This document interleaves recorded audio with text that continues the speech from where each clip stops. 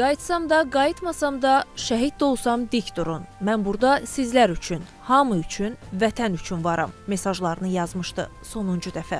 Bu gün 31 yaşı onsuz, lakin onun şəhadəti ilə qeyd edildi igidin. Necə təbrik eləyim bilmirəm. Bir tək dediyim odur ki, cənnətdəki ilk ad günün mübarək olsun şəhidim.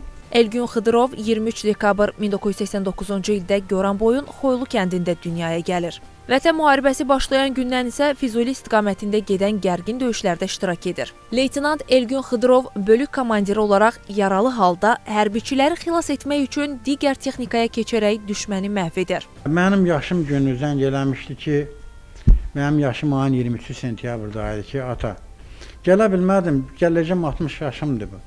Gələcəm lap təntəraqlı keçirdərik.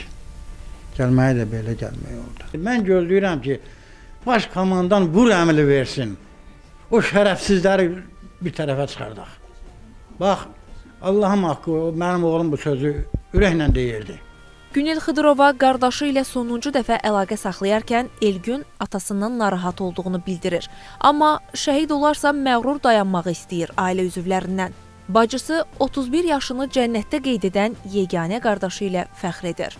Bu eşq elə gətirdi, çıxartdı ki, hətta bu 30 illik deyirik torpaq həsrətimiz. Gəldi qardaşımın 30 yaşına təsadüf elədi ki, 30 yaşı tamamlığında da 31 yaşı tamam olur bu gün artıq.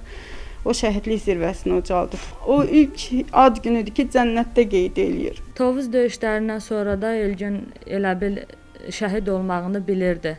Daha elə bil onun ürəyinə dammışdı. Tez-tez deyirdi ki, mən şəhid olsam, ağlama. Sənin qardaşın da hərbiçidir, sənin yoldaşın da hərbiçidir. Sən güclü qadın olmalısan, öz ayaqlarının üstündə durmalısan. 31 yaşını Elgünsüz qeyd eləyirik evladımla, ailəsi ilə bir yerdə.